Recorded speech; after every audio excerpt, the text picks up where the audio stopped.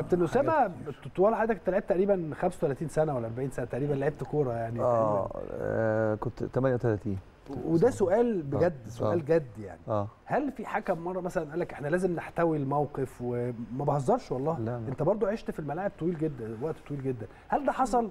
لا، بس هو- يمكن نفهم أصل أنا عايز أفهم إيه وجهة النظر في إن في كابتن محمد عادل إن هو يطلع يتكلم ويقول لك أنا آه، اتكلمت مع زمايلي المساعدين وهو اتكلم مع زمايله إن ده وقت الإدارة لما النتيجه 3-0 ده وقت الإدارة وإن إحنا نحتوي مش كل شوية يطلع كارت.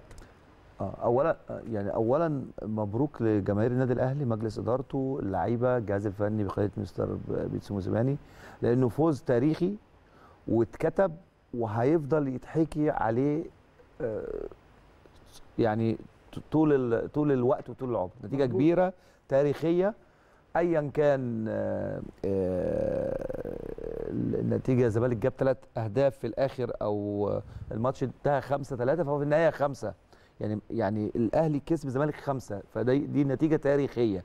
يعني لما تت- تعد في حسابات من ساعة ما النادي أنشئ حتى الآن النتيجة الوحيدة اللي تعدتها اللي هي 5 ستة 6 واحد. 1 آه. وأعتقد مرة ب... أنا ما- بس دي مش مش أنا ما طبعا ما عشتهاش أنا في 6 1 كنت أنت كنت بتلعب تقريبا والجيل بتاع آه، بيبو وكده وأنا كنت مساعد مع مستر مانويل في. الجهاز آه كنت في الجهاز آه، يمكن كسبنا قبل كده 5 1 أنا مش فاكر لكن أنا أقصد إنه نتيجه خلاص تاريخية واتسطرت كون بقى أي حد هيقول أي حاجة بعد الماتش لتبرير أو لتقليل من من نتيجة المباراة والأداء اللي أداه النادي الأهلي بشكل كويس قوي باستثناء فترات قليلة لأنه برضه بيلاعب منافس قوي.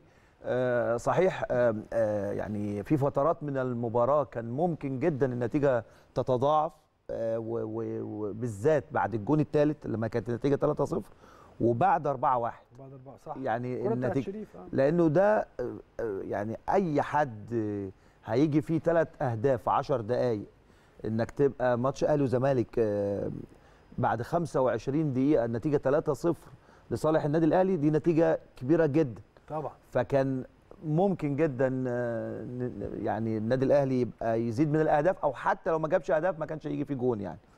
والنتيجة وال- والموقف الثاني اللي حصل آه، سهل لنا كتير جدا.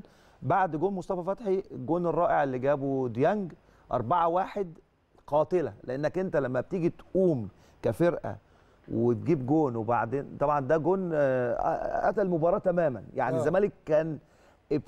أنا كنت متأكد الاهلي هيكسب المباراة حتى آه. لو جون ديانج ما جاش بس أنا أقصد إيه كان ابتدى يبقى في شيء من بصيص الأمل بعد ما مصطفى فتحي جاب الجون إنه يدخلوا في أجواء المباراة فأنت آه. آه. على طول ما فيش دقيقة جبت الرابع ف خرجتهم من المباراة طبعا. معنوياتهم انهارت يعني. ففوز تاريخي. فمهما بقى حد هيقول حد هيتكلم دي مش هتقلل من الإنجاز ده مهما كان يعني.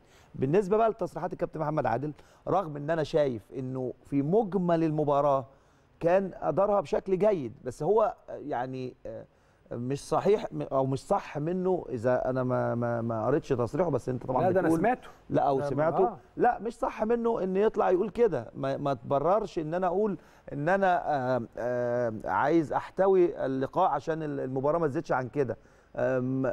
يعني حتى أنا بقول لك هي طبعا طبيعي الطبيعي آه، مش صحيح. لكن أفترض حتى لو هي في نفسيتك ما ما تصرحش انك تقول كده يعني يعني مش هو الطبيعي ما قالش إن هم يعني ده آه. عشان ما تزيدش لا بصراحة برضه آه، لكن آه، لكن آه. هو قال أنا أنا هجيب لحضرتك التصريح لغاية لما حضرتك بس كمل آه. وأنا هجيب لحضرتك التصريح كامل برضه عشان نبقى قايلينه من على لسانه آه، برضه آه. اتفضل يا كابتن ف يعني رغم إن أنا شايفه إنه كان عنده ثبات. وفي معظم اللقاء أدى بشكل كويس باستثناء موقفين أو ثلاثة كانوا ممكن جدا فعلا يغيروا في نتيجة اللقاء اللي هي طبعا ما فيش إنذار آه، للمسلوسي بعد الكرة بتاعت ضربة الجزاء لعمرو السولية. دي غريبة شوية. مثلا. دي غريبة. مثلاً. آه دي غريبة. آه. آه برضو الكرة بتاعت آه, أهو التصريح أهو يا كابتن. آه. أهو. شعرت بتوتر شعرت بتوتر لاعبي الزمالك ليس من التحكيم ولكن من النتيجة الكبيرة في في السماعات مع الزملاء. كنت بقول لهم دلوقتي إحنا في مرحلة الإدارة. آه. سهل جدا إن أي حد يعمل أي حاجة كارت في كارت وطرد. ويبقى انت لم تحتوي اللاعبين.